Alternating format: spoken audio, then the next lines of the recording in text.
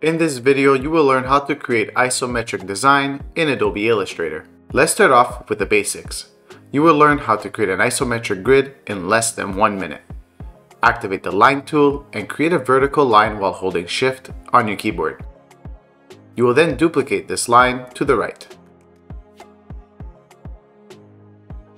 You can now press Command or Control D on your keyboard to duplicate the line multiple times. Select all your lines, right click, and group them together. Now you can activate the rotation tool by pressing the letter R on your keyboard. Press enter and input a 60 degree angle and confirm by clicking on OK. Once again, with the rotate tool activated, press enter on your keyboard and input another 60 degree angle and confirm by clicking on copy. And just like that, you created an isometric grid. For the next lesson, you will learn how to create left, right, and top facing shapes. Let's begin with the left side. Select your shape and activate the scale tool by pressing the letter S on your keyboard. Press enter on your keyboard and input a 100% for uniform and for non-uniform you're going to input 82 and 70.5. You can then activate the shear tool and input minus 30. Finally, activate the rotate tool, press enter, and input minus 30 as well. And this will create your left facing shape. Following the same method, you will create the right facing shape. Using the scale tool, input the same information as earlier, Then activate the shear tool and input a 30 degree angle instead of a minus 30 degree. For the rotate tool, we will also input a 30 degree angle and now we have created the right facing shape. For the top shape, let's scale it once again. With the shear tool, input 30. And for the rotation, input the opposite, which is minus 30. And this will create your top shape.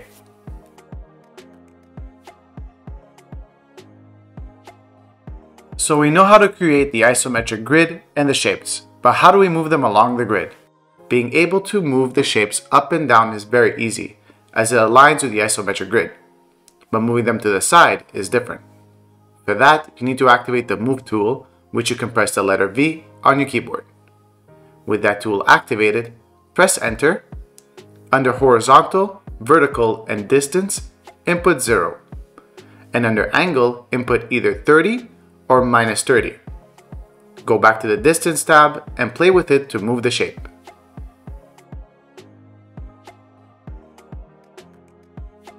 So we are now ready to create our first illustration mixed with my cartooning style. We will now use the grid in my sketch reference to create this retro iMac computer as an isometric design. As always, I prefer to create a sketch beforehand, but it's not necessary. I will leave you a moment to take a screenshot so that you can follow along with me, and I will also leave you the color codes in the description.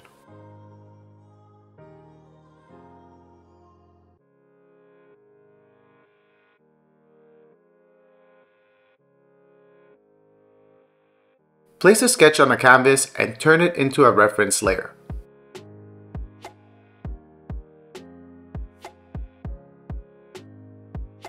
Create two layers above and name them Outline and Color. With the Pen tool, begin tracing the sketch while using the grid as a guide.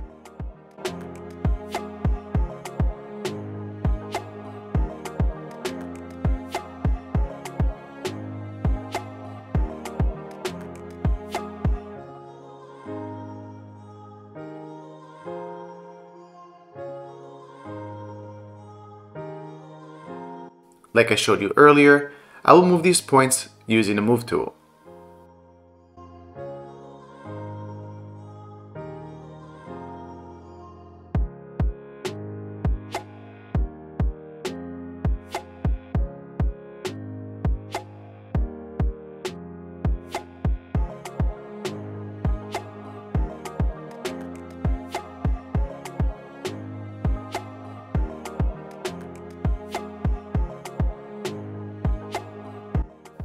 You can use the Shape Builder tool to adjust your shape.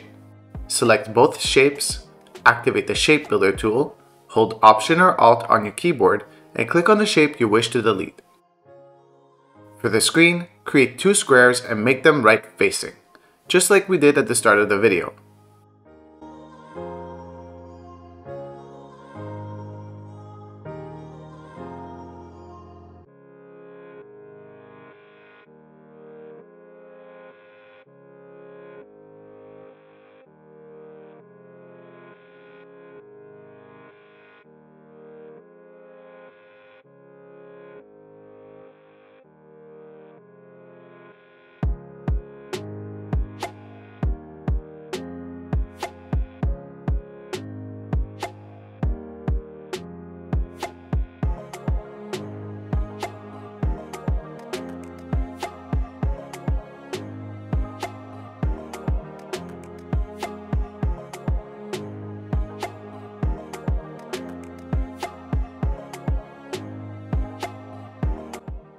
Let's continue by creating the keyboard and the mouse, following the same method.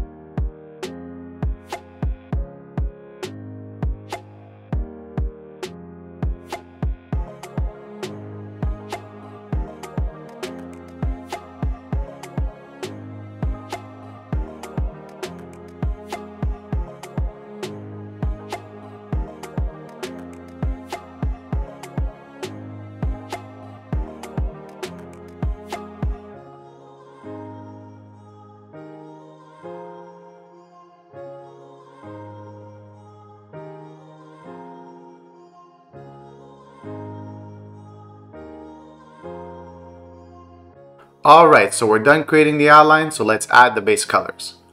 Start by selecting everything and heading over to the Layers panel. Hold Option or Alt on your keyboard and drag the blue square down to the color layer. What we did was an exact copy on a different layer. Make sure to lock the outline and hide it. For the next step, delete all unnecessary detailed shapes. Next, select all and head over to the Object menu and select Outline Path. Then go to the Pathfinder tool and click on the Unite button to turn it into a shape. Right click on the outline, ungroup, and then click again and release Compound Path. You can then delete the outside shapes. Now that that's done, we can select all and apply a neutral color and turn on the outline layer. We can now simply select the individual shapes and apply a color. Keep in mind that the light source will be coming in from the right side, so make sure to add light colors to the right and darker colors to the left.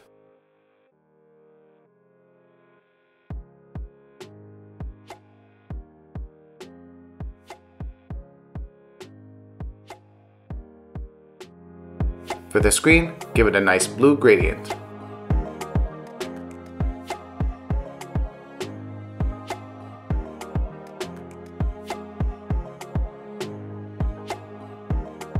As always, I will use a combination of the pen tool and shape builder to add more details.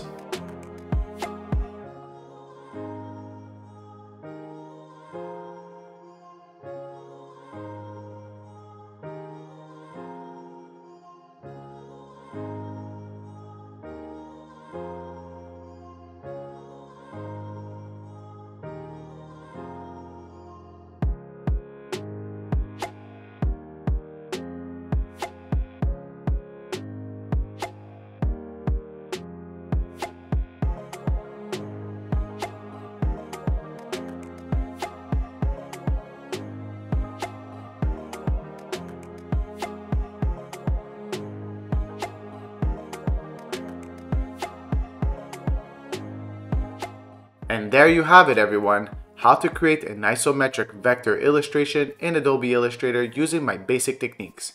I hope you enjoyed the video and let me know your thoughts in the comments and I'll see you in the next one. Thanks everyone.